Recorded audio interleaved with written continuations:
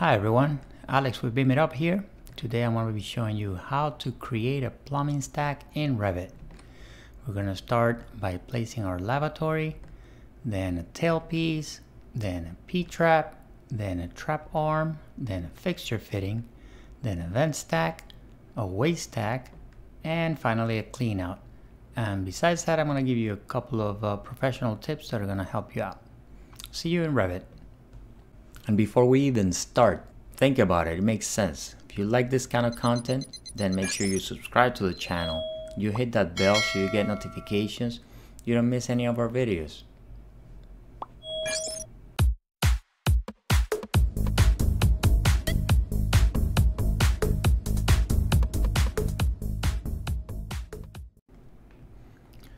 All right, everyone. So the first thing we're gonna do, as always, is open up our uh, Revit model. And let's try to find some plumbing fixtures in our background. If you don't know how to create a plumbing project, uh, you can also learn how to do that in one of our videos. You can go to the description and over there you'll find the link. Notice that I have my architectural model linked in. One thing that I always like to do is go to my visibility graphics overrides. You can do that by uh, the shortcut VV or VG. And then I'll go under Revit links. And then I'll go under my architectural link. And instead of by host view, I want to customize this. Then I go under model categories and I change this to custom. And then over there, I'm going to go PL that navigates me very close to plumbing fixtures. And I'm going to overwrite the lines so that I can see them a little bit clearer. So I'm gonna make them like this sharp green here. And I go okay okay okay. And now I can find them a little bit easier right? Uh, the next step would be to drop uh, a lavatory here so I'll go here under my plumbing fixtures and I'll drop this lavatory. This is a out of the box, Autodesk wall mounted lavatory. Did a, little, a couple modifications, but you can find those uh, in the standard library. So I'm gonna drop, let's say this uh, 20 by 18 lavatory. And uh, there are some regulations as far as the height at which you have to drop that lavatory. Uh, we'll talk about those in a little bit, but for now, I'm just gonna drop the, I'm gonna drop it at three feet, right? Just uh, to get a starting point. And I'm not gonna place it exactly here. I'm gonna place it around here. And that's intentional because now I can do AL to align and I can have it perfectly centered with the architectural background. And now as far as height, I'm going to create a quick section here. And see, I don't need it to be that deep, so I'm just gonna shorten it up a little bit. And I'm gonna double click on the arrowhead. And we are on level one, okay? One thing I like to do in my sections is I would go fine, so I have as much detail as I can and here I would like to have this as wireframe so I can grab things a little bit behind uh, the front plane. Uh, notice that we can do align as well and then click on the architects and click on us. And then this here would be our fixture. See how it has my initials here? And one thing you can do is since uh, once you have a section that looks exactly how you want it to look like, you can always come here to view and under view templates, you can do create template from current view and you give it a name. You can call it um, AJS section, for example, I'm gonna call it, right? And then you have a final chance to change things. Like in this case, for example, I wouldn't care too much about the view scale because I'm not printing this and you know this is not the scope of this video. If you want me to uh, make a video about uh, plumbing templates or or any other type of templates let me know in the comments and I'll just create one. But for now let's keep going with our plumbing. You can find a, a ton of these um, lavatories uh, from any manufacturer. You know it could be whether it's Zurn, Kohler, American Standards, or even the, the Autodesk uh, out-of-the-box uh, fixture that I'm just showing you here. Um, as far as the height, the maximum height, I'm, licensed in, in Florida, right? So I deal with the Florida Building Code. And uh, on chapter 6, plumbing elements and facilities, the, the maximum height, uh, it's 34 inches to the rim, right? You also have some minimum distance here. Uh, I believe it's 29 inches, but that's typically specified by the architect. We just pipe to it. So out of my plumbing fixture, I'm gonna go down. You don't wanna go down too much, just a little bit. We'll talk about that in a little bit. And then I'm just gonna go into the wall and then go down. Keep in mind, the first thing is that this is our tail piece. It cannot be too long. We'll talk about that in a little bit again uh, I'm gonna change this elbow to a P-trap. If you don't know how to do that, we have another video that explains how to do it. The link's in the description. And if you don't know how to create a pipe type, you can also learn that in another video. Links in the description as well. Now I'm gonna delete this elbow for a little bit and I'm just going to extend this pipe, which is gonna become our stack, right? I know that the size that I'm looking for here is two inches, right? And I'm gonna do trim extend TE for short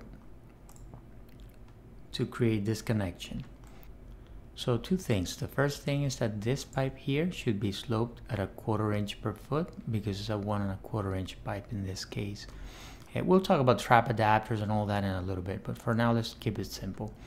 Um, the other thing that you want to keep in mind is that this piece here should actually be like the bottom part of the stack is going to be our waste stack and the top part of the stack is, is the vent inside. We'll talk about the, that in a little bit. And a cool tip that I'm going to give you is that you can just delete this and copy this piece to the top and then change it to the right system and the right pipe type. So you can click on it and then just go to vent PVC now that you have it in the right pipe type and now let's go to our system and it will be sanitary vent and you already have your stack. You can connect it and you won't lose any any of the properties of the other system so this should be pretty good. And uh, now the last thing we're gonna do is actually you can you can even copy this fitting. That's uh, we're using a sanitary T uh, this sometimes it's, it's just a, a, fixture fitting. It's a different type of fitting, but it's pretty similar to this, and we don't want to waste time. You know, we're always pressed on time, so we have to be practical. Um, so in this case, I'm connecting to create a clean out because I'm on the first floor. I want to extend this pipe a little bit, and I'm just going to cap it. Cap open ends, and uh, then you would go underground under under your slab and then you will start this pipe is very important that you get it sloped.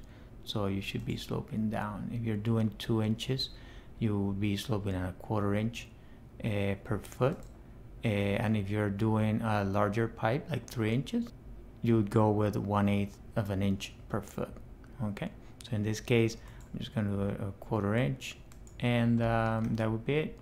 Now uh, another cool tip is that even though you think that if you have a thousand of those, uh, it would be a good idea that you don't don't even do this part, right? And then what you do is you come here to your floor plan, and then you can actually, you know what? Let's let's take a look at it in 3D and see what we have. This is what we have so far, right? So you could easily just select all this and then you could create a group. I'm gonna ignore this warning here. And I'm gonna call it a lav stack right? And now I could copy these a bunch of times. You know I could copy it here if I wanted to uh, or all over the place. Uh, uh, and sometimes you know since this is a wall hosted element the the lavatory I mean it, it, it gets a little erratic every once in a while depending on the hosting service. So what you can do is, let me ungroup this, what you could do is select all these and then just group that. It all depends on your workflow and what you want to do, okay? So in reality, those four lavatories would most likely be discharged into a common horizontal sanitary drain line here because it's a multiple restroom but for the purposes of this video we did a single stack just to do it a little bit simpler. All right let's say the aliens come down and they want to mess around with your youtube history. What are you gonna do? Can't find my video? No. What you want to do is subscribe to the channel. You hit that bell. That way you get notifications. You know where your video is. And you stick it to the aliens so if we do a quick search under Google Images for plumbing stack, you'll see a lot of very nice pictures. I'm going to try to put a couple of them together for you so we can talk about what we're going to do. Okay, so these are the same Google Images. Um, that's your typical P-trap. I'm sure you have one at home. And the main reason we want a P-trap is we want to create a liquid barrier between the stinkiness of the sanitary system and your conditioned space whether it's your bathroom or your kitchen. So if you didn't have this yellow part here, which is the air admission, then what would happen is that you would suck this liquid seal. It would bring it with you by siphonage, and then the stinkiness would go into your space. So in order to avoid that, you need to admit air into the system so that you can protect the seal, okay? And this is a typical image of under your sink. So that's the bottom of a fixture, that's your tailpiece right here, then you have a trap adapter, then you have your P-trap, and then you have your fixture arm or your trap arm, which is a piece that connects from the P-trap to your stack. And then your stack's gonna have two components. One of them is gonna be uh, the vent part, and the other one's gonna be the drainage part. And if you have enjoyed this video, make sure you like it down there. Subscribe to the channel, hit that bell so you get notified. Thank you for watching and see you on the next video.